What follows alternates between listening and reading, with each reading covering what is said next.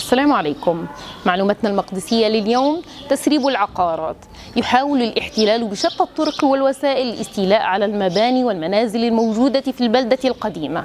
لذلك تقوم الجمعيات الاستيطانية بعرض مبالغ ضخمة وطائلة جدا لشراء تلك البيوت والعقارات. وإحلال المستوطنين اليهود بدلا من المقدسيين العرب. ولكن المقدسيين يقابلون تلك العروض بالرفض. لتأكيدهم على أنها أرضهم ولن يتنازلوا عن حقهم.